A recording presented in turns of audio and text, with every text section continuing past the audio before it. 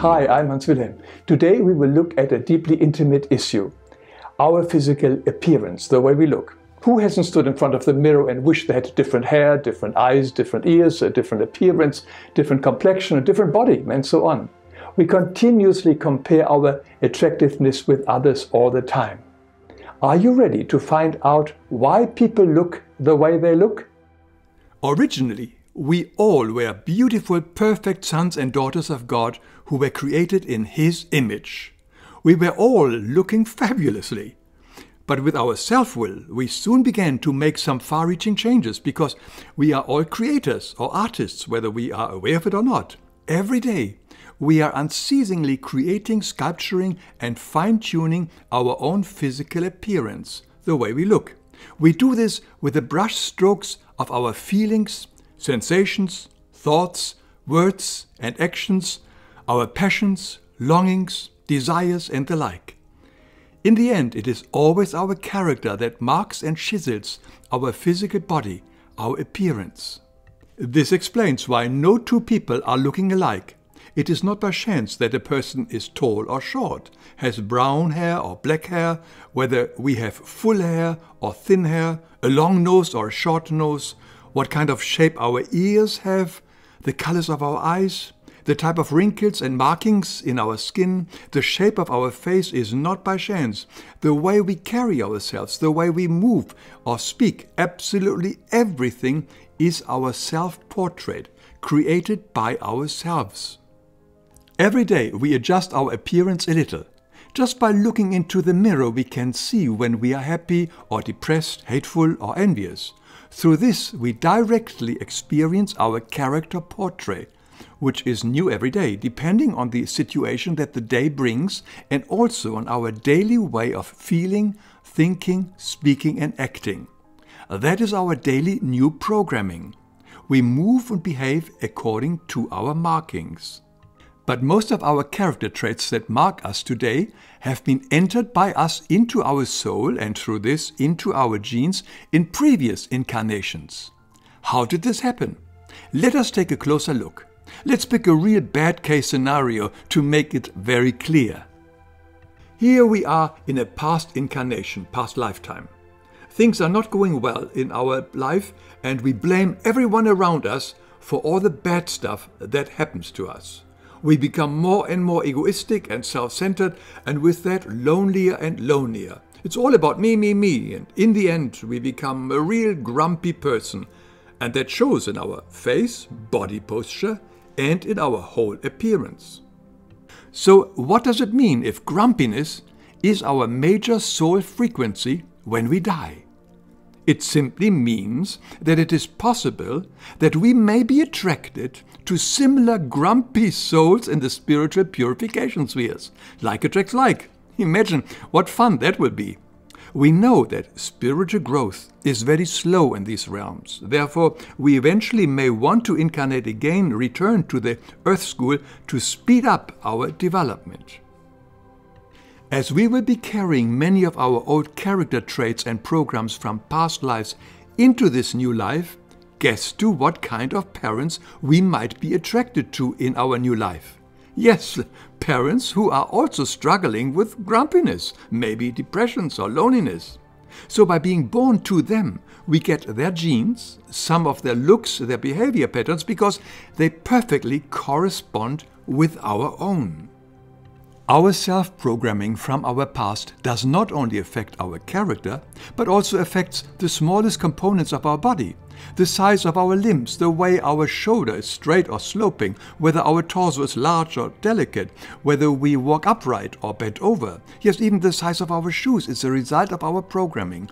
Every skin pigment, every pimple, every dark spot wants to tell us something. So do our teeth and fingernails. Everything, absolutely everything, is our own personal expression. Yes, even the forms and colors of the clothes we choose, the shape of our shoes, the furnishing of our home and how we live in it, the way we sit in a chair or lie in our bed corresponds to our programming, our tastes and habits, which food we eat and how we eat it or prepare it. Everything but everything is the imprinting we made and no one else. So here we are now again with our old programs and character traits, ready to blame once again our parents, our background, or whoever for our total unhappiness and loneliness. This here is a very common cycle that unfortunately too many souls are going through from lifetime to lifetime like in a stupor, repeating the identical behavior patterns, often in the same family settings, over and over again without any self recognition or the intention to change it. As a result, each time our appearance reflects more and more our persistent programming. How can this be stopped? We can totally change it once we move away from our self centeredness, when we begin to reflect on our life when we take responsibility and acknowledge that we are the sole creator of our misery or grumpiness. No one else did it to us. When we then go within and ask for guidance and help, we see that all of heaven has patiently been waiting for us for this moment to make the first step. We then discover that we have never ever been alone. God and His kingdom are in us and so are the transforming powers of the Christ spark in our heart region that can transform all negativity into positive energies. This includes our grumpiness. And our guardian spirit is by our side to help us on our way to freedom. All the power is in us. All we are asked is to surrender our egoic will to the will of God. Then we move away from self centeredness to loving and forgiving. By fulfilling the Sermon on the Mount and the Golden Rule, our life will drastically turn around. We begin to forgive everyone, ask for forgiveness, and no longer do the selfish, unloving things. Suddenly, we are no longer victims but victorious. And that will show. Our life turns around. That changes our soul and with that our body, our face, and our entire attractiveness. Can we see that this is much, much better than Botox? because Botox and facelifts wear off after a short while. But bringing our soul finally into a higher vibration can last forever. William Shakespeare was right when he said, Our bodies are our gardens, our wills are our gardeners.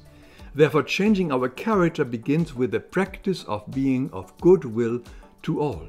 What helps us with this is the spiritual principle that says, What you do not want others to do to you, do not do it to others either.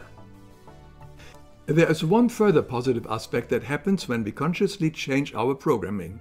By changing toward the good, we learn to look deeper. People can blind and deceive us only as long as we blind and deceive ourselves. Once we developed an upright character, we are often able to look into the hidden aspects of our fellow people and see them as they really are. We may well see the faults and weaknesses of our fellow people, but we do not judge or condemn them. In all my short videos, I'm sharing material that I found helpful on my own personal mystical path. The material for this video is no exception. It comes from a book which has recently been translated into English. It's called Me, Me, Me, The Spider in the Web by Gabriele. And it has a fascinating subtitle, The Law of Correspondence and the Law of Projection. Some of the chapters in the book are the law of attraction, the law of sowing and reaping, the various levels of consciousness, did humans descend from apes, telepathy, addictions, how to detect deception by other people, gene manipulation, how to communicate with God, and many, many more. If you're interested, I put a link to this book under this video, just click on it. And if you wish, please subscribe and we will meet again in the next video. Thank you for watching.